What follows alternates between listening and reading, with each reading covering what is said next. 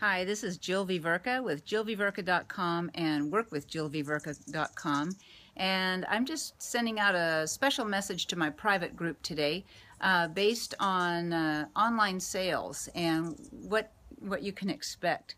I was doing a little research, and you know that in 2009, the average customer, before they bought anything online, looked at at least two to three pieces of content uh, emails, ads, whatever, before they decided to make a purchase.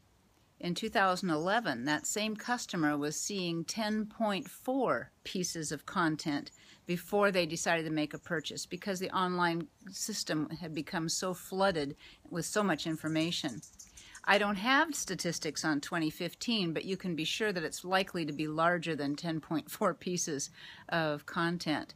So why are we talking about this today? Well, if you're interested in online marketing and getting into it, you know that you have to work at it just a little bit.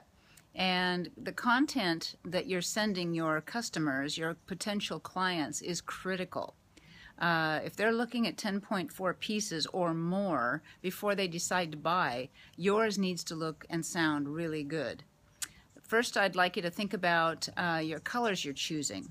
Choose pleasing colors. Don't be too brash. Don't be too wild. Uh, make it something that's eye-catching, but not too off the charts. Be careful of that. Also, your headline and content uh, needs to be well worded, needs to be engaging, it needs to be clear, and it doesn't need to be long. Because if they're looking at that much content and you want them to get your message, you want to say it quickly and well. Another thing I want you to consider is using videos adding pictures that are good pictures or good videos, better than this one. I'm in my back porch right now looking over the Napa Valley. Um, but I, the pictures and videos add a lot. They add 100% to whatever you're saying or doing. And especially videos. People are really um, attuned to them these days. So think about these things when you're considering uh, putting an ad together or as you're looking at ads that you're getting, evaluate them a little bit and see what you think if they match some of this criteria.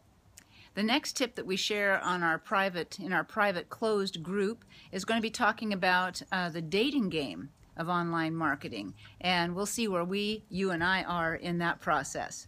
Have a great day. Talk to you soon.